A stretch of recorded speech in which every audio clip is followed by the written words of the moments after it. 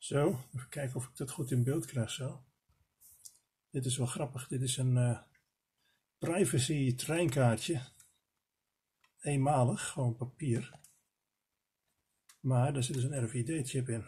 Het is wel grappig om eens even te kijken hoe die antenne eruit ziet. Ik als je hem stukken scheurt, in stukken scheurt, dat, die, uh, dat je dan niet zo goed ziet hoe het eruit ziet. Maar in het midden zit dus een chippy. Niet of het in beeld is. En daaromheen zit een soort spoel als, uh, als antenne, als raamantenne. Maar misschien knip ik hem nog wel open. Het is toch een kaartje voor eenmalig, dus uh, grappig hè.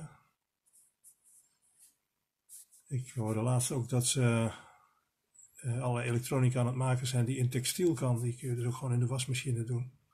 Dus binnenkort als je een paar sokken koopt bij de HEMA, dan weten ze waar die sokken zich bevinden, het hele leven van die sokken lang, want overal wordt het RFID-chipje dan weer opnieuw gescand. Ja, er blijft niets heilig wat dat betreft. Hè? Zelfs een paar sokken niet.